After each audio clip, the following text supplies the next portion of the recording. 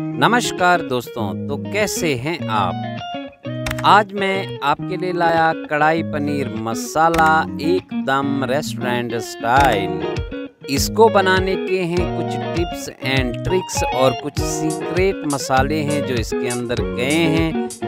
इसलिए वीडियो को अंत तक ज़रूर देखें। कितना शानदार कलर इसका आया है। तो चलिए दोस्तों, करते हैं start most welcome to USA cooking king आपका अपना चैनल अभी करें सब्सक्राइब ये सब कुछ मैंने यहाँ पर ले लिया है। आप हमारे साथ बने रहें एंड तक। तो अब देखिए दोस्तों, इसमें जो सीक्रेट इंग्रेडिएंट्स है, वो है दही और बटर जाएगा इसमें लास्ट में। तो चलिए लगाते हैं तड़का। सबसे पहले ऑयल और अब डाल दिया है जीरा। जीरा डालें बड़ी इलायची, छोटी इलायची। लौंग यहाँ पर डालेंगे और काली मिर्च, दो तेज पत्ते। लहसुन, अदरक, वाह भाई वाह, क्या बात है। इसको अच्छे से हिलाएँ हाफ़ फ्राई होने दें और अब डालें प्याज। प्याज डालते इसको अच्छे से थोड़ा सा हिलाना है। अब हरी मिर्च दोस्तों इसमें जाएगी, जो मैंने काट के रखी हुई है। वाह भाई वाह, ज़बरदस्त रेसिपी बन के हो रही है, बिल्कुल तैयार। अब दोस्तों यह है सीक्रेट इंग्रेडिएंट्स इसको बोलते हैं बेसन। वाह भाई वाह, बेसन को अच्छे से पकाना है। इसको कच्चा मत रखें, इसकी स्मेल बिल्कुल नहीं आनी चाहिए। अब इसमें डालेंगे दही। दही डालना है यहाँ पर बिल्कुल सही।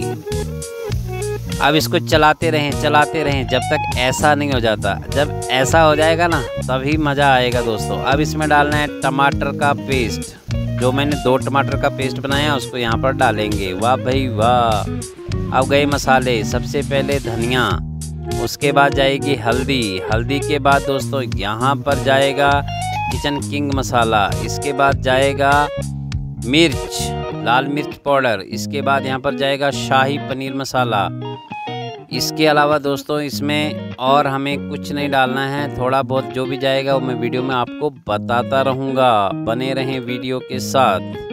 इसको बनाएँ भुना हुआ मसाला। अच्छे से भुने, इसके बाद डालेंगे पनीर। पनीर दोस्तों मैंने क्यूब्स में काटा है, आप इसको लॉन्ग में काट सकते हैं, स्क्वायर में काट सकते हैं, आपकी मर्ज़ी है। परंतु क्यूब्स में ये अच्छा लगता है। अब पनीर को दोस्तों इस मसाले में भूनना है दो से तीन मिनट।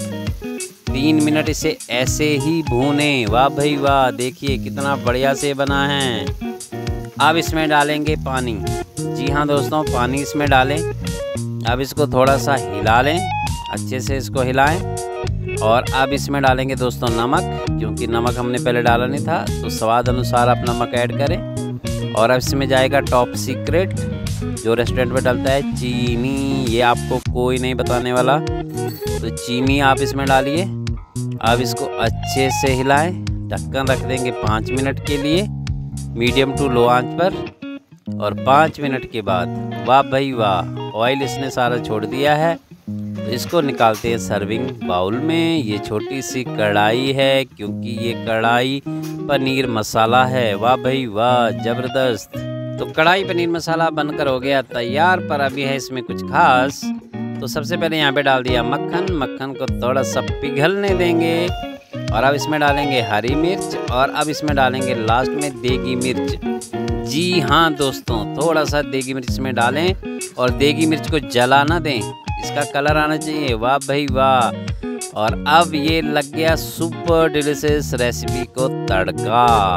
कढ़ाई पनीर मसाला बनाया है, बिल्कुल न्यू स्टाइल में। आज मैं आपके लिए लाया बेहतरीन रेसिपी, कढ़ाई पनीर मसाला एकदम रेस्टोरेंट स्टाइल।